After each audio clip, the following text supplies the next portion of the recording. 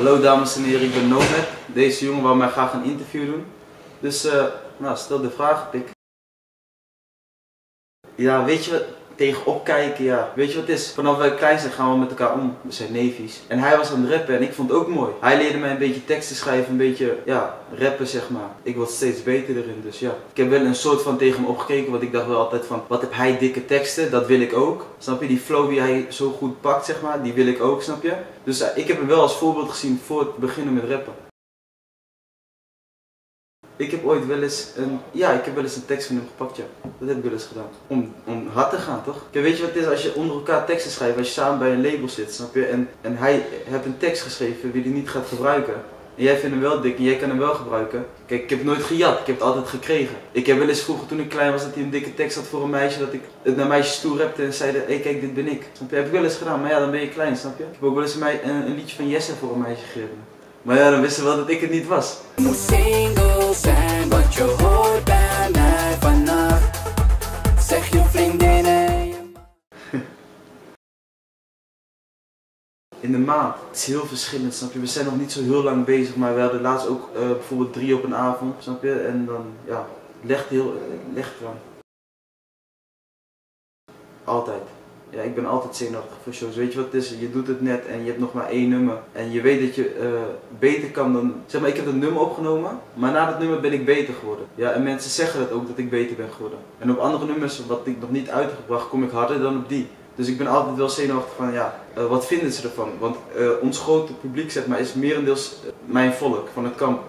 En ja, die houden toch meer van Nederlandstalig, van een beetje dansen, weet je. En mijn nummer is een trapnummer, een beetje straatachtig iets, een beetje boos, snap je? Dus het is altijd wel van, wat vinden ze ervan?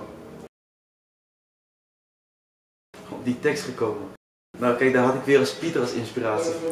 Hij had net Scrubs uitgebracht en ik zat ook een beetje met die flow in gedachten. En ja, ja, ik kwam er zo ineens op. Sorry.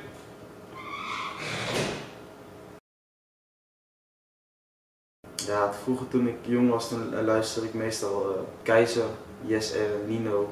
Snap je, dat zijn de rappers waar ik wel naar luisterde, maar inspireren echt, weet je dat niet. Ik vind ze goed. Ik vond de teksten ook wel hard, maar het is niet echt dat iemand mij heeft geïnspireerd, want ik doe mijn eigen ding zoals je ziet.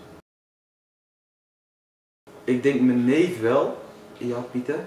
En ik denk, ja, want we hebben toch een beetje eh, hetzelfde. Snap je? We zijn niet allebei zoals Leeuw Klein of zo, snap je? Dat is meer Willem. Willem heeft een hele andere flow dan ons, maar ik en Pieter zijn meer dan zeg maar gelijk aan elkaar qua flow. Snap je? Een beetje dat boosachtige. Ja, en Lijpen ook trouwens, weet je? Kijk, ik luisterde Lijpen en dacht ik van, dik hoor, dit is echt dik, snap je? Dat wil ik ook. maar nou heb ik het toch anders. Ja. Nou, het is eh, ten eerste het label van mijn neef, van Charlie de manager. Kijk, weet je wat het is? Ik ben een gypsy, snap je? En ik ga niet, ja, ik ga niet zomaar eh, naar iemand luisteren, zeg maar. Kijk, misschien kan een ander label mij hoger brengen als die me confronteert. Of hoe noem je dat? ik zeg het goed toch? Ja, maar ja, kijk, weet je wat het is? De, eh, mijn afkomst is mijn trots. Snap je? Dat wil ik het liefst altijd supporten. Wat denk je zelf? Gewoon beter dan iedereen worden, vriend. Voor Gypsy Mafia? Ja, opgeven. Wat bedoel je met opgeven, snap je? Ja, kijk, weet je wat het is? Muziek is een hobby, snap je? Hoe, ik rap nu gewoon, weet je, als een hobby. Het is niet dat ik er rijk van word. Ik bedoel, mijn geld gaat altijd voor alles. En mijn vrouw laten en familie is altijd nummer één, snap je?